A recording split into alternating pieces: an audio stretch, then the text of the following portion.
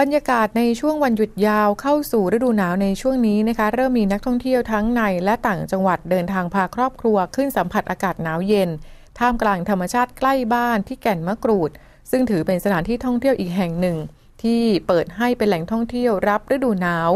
ซึ่งบรรยากาศดีไม่แพ้ทางภาคเหนือค่ะ ทั้งยังได้ใช้เวลาเดินทางไม่ไกลนัก หากเดินทางจากกรุงเทพมหานครใช้เวลาไม่เกิน 3 ชั่วโมง ทำให้ในช่วงฤดูหนาวของทุกปีจะมีนักท่องเที่ยว เดินทางพาครอบครัวมาเที่ยวชมชิมและช็อป หรือหากช่วงวันหยุดยาวก็จะมีหลายครอบครัว พากันนำเต็นท์มานอน อย่างจุดที่ได้เตรียมไว้อีกด้วยซึ่งช่วงนี้บนแก่นมะกรูดเริ่มมีอากาศหนาวเย็น แม้จะยังไม่เข้าสู่ฤดูหนาวเต็มที่ แต่ก็อุณหภูมินะคะอยู่ที่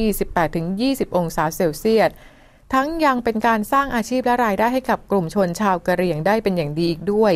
โดยที่ไม่ต้องเข้าไปลุกป่าตัดไม้หรือทำพืชไร่ในเขตป่าอนุรักษ์อีกเลย แก่นมะกรูดนะคะเป็นหมู่บ้านชาวกะเหรี่ยงที่ตั้งอยู่กลางหุบเขา ใกล้กับเขตรักษาพันธุ์สัตว์ป่าห้วยขาแข้ง สูงกว่าระดับน้ำทะเลประมาณ 700ถึง1,400 เมตรทำให้มีอากาศเย็นเกือบตลอดทั้งปี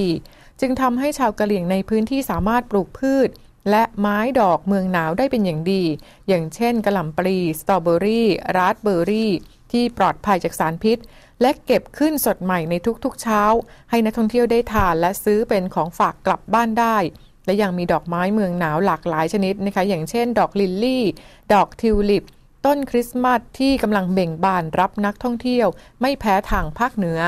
อีกทั้งยังไม่มีค่าเข้าชมสถานที่ท่องเที่ยวนะคะ ถือเป็น การเที่ยวชมฤดูหนาวใกล้บ้านทั้งสะดวกและประหยัดทั้งเงินในกระเป๋า และเวลาอีกด้วยค่ะ